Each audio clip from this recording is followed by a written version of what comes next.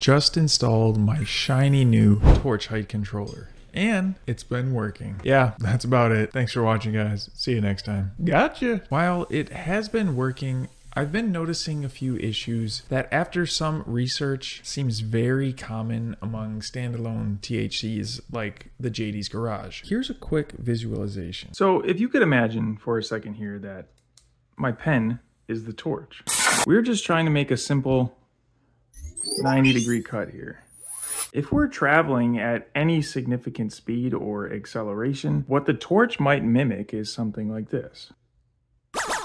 Now this is a little bit of an exaggeration, but it gives us a good clean story of what might be happening. So going from here to here to here, I didn't slow down at all. So if we redo that, we're gonna slow down right towards the corner. And that might look something like this.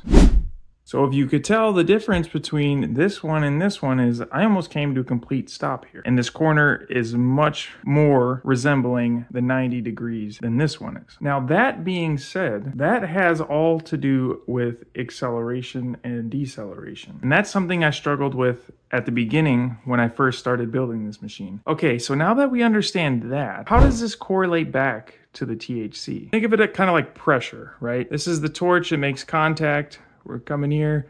We're cutting, we're cutting, we're cutting, we're cutting. And we're getting all the way to the end of the piece. We're cutting and all of a sudden, boom, my torch just dies. So why does that happen? The THC actually measures the voltage based off of the distance of the contact. And the closer the torch is to the workpiece, the smaller the voltage is going to be. Farther away we get from the workpiece, the more that arc has to work to maintain a stable connection. The closer we are to the workpiece, the smaller our resistance value is. So when we're coming and cutting and end up slowing down to make that tight corner, we've actually just opened up an an open space because the torch has to pause for a little bit. So as we're coming in, as we're trying to turn the corner, even if it's just a slight amount of time, that THC is going to think, oh, we're way too high now because we're experiencing a large amount of resistance. So to try and compensate for that, I'm going to do the only thing I know how to do, and that is to go down. So that's my problem. That's what we need to try and figure out. How can we manipulate the THC to not go down from here and here? So how can we do that? Now, this isn't the end of the world, but it sure is damn annoying. And it certainly doesn't help with consumable longevity. At about $50 a set, I want to try and have these things last as long as possible. And to do that, I need my cut height perfect. But how do we keep the torch from diving when decelerating or cutting small holes? To do that, we have to understand how the THC works. I have no idea how this thing works. Well, Maybe we don't need to understand exactly how it works, but we need to try and understand how it interacts with the rest of the control box. As far as I know, it all starts with the brains, my Arduino Uno. While running the program, the Arduino is constantly sending step and direction signals to our stepper drivers, which makes sense, but now you throw in the THC and things get a little bit more confusing. So I'm to start with these two wires right here. These wires are responsible for telling the THC the torch is on on and hmm. has made contact with the workpiece. So if you could imagine, this is essentially what it looks like when these wires are off. And when the torch fires, it comes back into action. But what happens after the first arc? The THC basically takes control of the entire Z axis. Since the only wires connecting the THC and the Arduino are the Z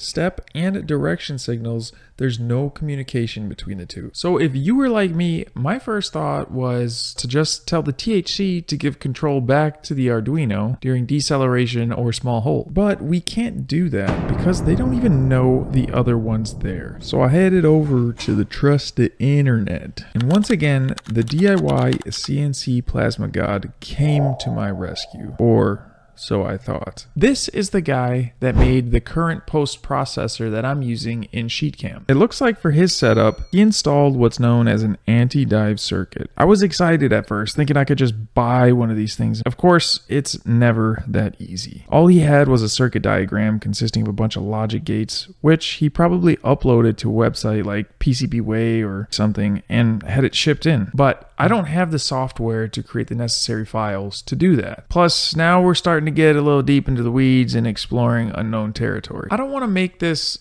any more difficult than it has to be, but the logic behind his thought process Now that could work. I kept reading. In addition to the anti-dive circuit, he utilizes GRBL's laser mode. By turning this on, we allow the torch on signal to have a variable power level instead of just on and off, which I soon found out was problematic if I didn't have an anti-dive circuit. I don't know a whole lot about how laser mode works. I can just see what it physically does and make judgments based off that. So if you guys know any more about how this works, feel free to share your thoughts down in the comments. From what I read, it's mostly used on laser engravers to change the laser's power level based on the acceleration and deceleration. That way, when making turns or slowing down during your engraving, the image doesn't burn up. Sounds promising. I can tell we're close. That's because I've already did this and I'm just now doing all the editing. I started drawing parallels between the laser mode function and what I needed the plasma cutter to do, but I didn't want to make an anti-dive circuit, so I thought about it for a while. Finally, I had an idea. With the help of the DIY CNC plasma cutter god and ChatGPT, I decided to modify the GRBL firmware to fire a torch like normal and turn a relay on and off based on the acceleration and deceleration of the current program. Remember this? When those two wires are off, the circuit looks like this. Ding, ding, ding. We might have a winner. Spoiler alert, it's a winner. See, here are some screenshots of the code I updated.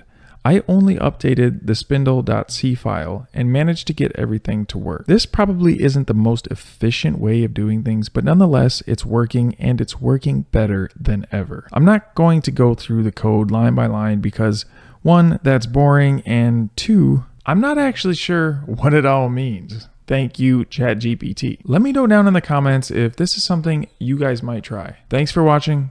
See you next time. If you made it to the end of the video, I'd appreciate a like and a comment. It really helps the channel out. And if you want, check out some of my other DIY CNC plasma cutter videos.